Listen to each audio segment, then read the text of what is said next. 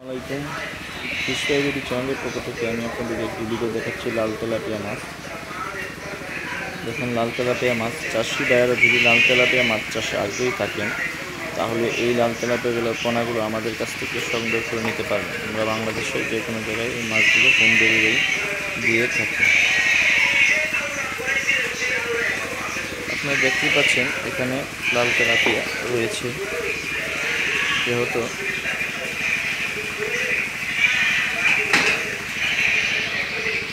এই মাছটি আপনার একুরিয়ামে চাষ করতে পারেন এবং কি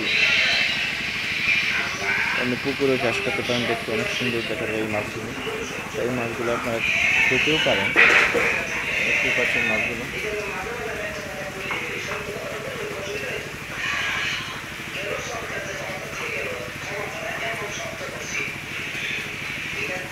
যদি ভিডিওটি পুরোটুকু দেখেন, তাহলে অবশ্যই আমাদের ভিডিওটি পুরোটুকু দেখবেন এবং কি চ্যানেলটিকে সাবস্ক্রাইব করবেন, লাইক, কমেন্টস করে অন্যকে দেখা সুযোগ করে দেবেন।